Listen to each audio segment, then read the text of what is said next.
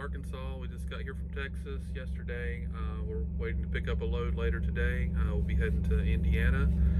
Uh, we've put together some footage of our uh, time in Texas and heading here to uh, Arkansas. Um, went through a lot of rain, um, a lot of um, a lot of places we've never been. Although you go to all these different states, sometimes you find these little towns that you've never been to and didn't have a job like this, you'd have no reason to be there to ever see it. So uh, we get to see different things every day. I find that very interesting, uh, especially when you see these small towns that you wouldn't normally go to. It's part of some people's everyday life, and you just kind of get to see America. I mean, all of it, not just the large cities. So saw Bill Clinton's uh, um, mural on a business right. playing saxophone. Yeah, we did go through the birthplace of uh, Bill Clinton and also uh, Johnny, Johnny Cash. Cash. right? Yeah, little tiny town, about 400 people for Johnny Cash. It's Yeah. interesting.